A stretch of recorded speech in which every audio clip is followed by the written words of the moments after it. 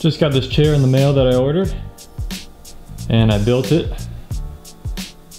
Reason I got this chair is because I used to sit on the couch every day and that was becoming horrible for my body. I used to sit in this chair every day to do my drawing videos or any kind of video and you can just see a big difference uh, between this chair and this chair. I sit here at our dining table which I've converted into a, a, kind of a drawing video space. So I got the tripod set up, blah, blah, blah. I'll explain all that in future videos. So now I just sit here, it's kind of my office in my small apartment. So I recently had a question from someone about fear and the question was about being afraid of, of starting a painting or being afraid to paint in general. I know what that fear is like. I definitely understand that. I used to just draw all the time few years back and I uh, slowly started going into painting. And at the beginning, I, I, I kind of painted large in the beginning, you know, 18 by 24, 16 by 20, but a canvas like this, looking at this big blank canvas can create a lot of fear. A lot of people just freeze up, they don't know what to do, so they have these big canvases sitting around for a while. And really, the thing to do is to have a plan. You gotta have a plan of how you're going to approach something that large. And even if you're afraid of painting small, uh, maybe start out sketching what you're at. You need some ideas. Getting over that fear, the only way to get over it is to do it. You gotta have courage and just face your fear head on. I don't really like being afraid of, of anything for the most part. I kind of just do it. You know, like making these videos, when I first started making these videos, I was afraid to post them on YouTube uh, because I just, I wasn't confident with speaking in front of a camera. I used to be afraid, I would get so nervous turning the camera on and speaking in front of it. Like I felt like there was an audience already in front of me, like I was, I, I don't know, it was so strange thinking back at it because now I can just turn the camera on, it's no big deal, I can just speak right in front of it. So you can get over your fear. It's, it takes time. And I'll tell you something that I'm fearful of that's kind of funny. I cannot make a video like this, talking to the camera, if my girlfriend is in the room or even in the same, if she's in the apartment, I can't make the video.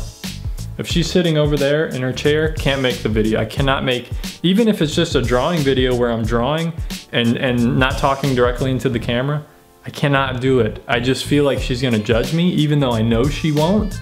It's an irrational thought that I have and I've yet, I've been dealing with this for years, living with her for almost four years now, three and a half, four years.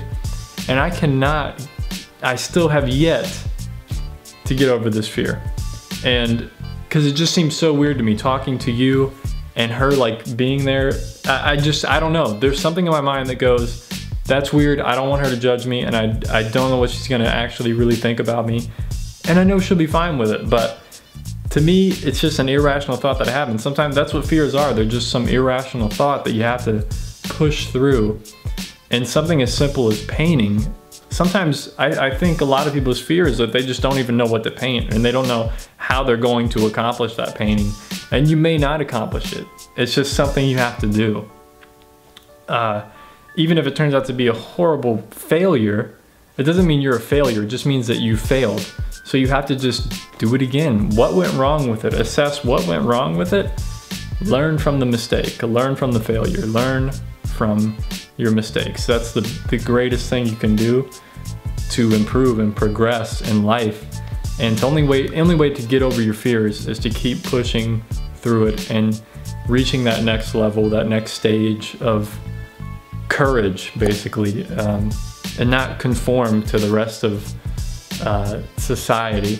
You know, another fear I have is filming out in public with people around. It was, I tackled a lot of fears filming that plein air series I did last year, last summer.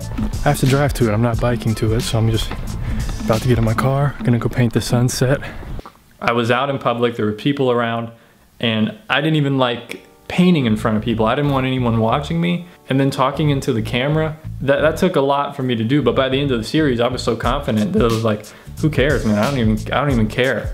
Because you guys love the videos. Who cares if people see me talking into this camera? Because I know what it's about. I don't, I'll probably never see these people again anyway. For me to do like a vlog type video outside like this and just hold a big, big camera in front of me and talking to it, that's still very bizarre to me. And that's a fear that I hope to just get over in the next, in this year, just get over it and start filming outside and just start doing a whole bunch of different things that I'd really like to do and stop letting my fear hold me back. So that's that's the reason there. That's that's the not the reason, that's the you know what I mean. That's the end of the video. So that's what it is. Fear is just you have to just do it. And You'll gain confidence by doing it. It may not feel great at first. You won't regret doing it for the most part because you'll be pushing yourself and improving yourself and that's what it's all about. Hope you enjoyed this video. Stay tuned for the next. Peace.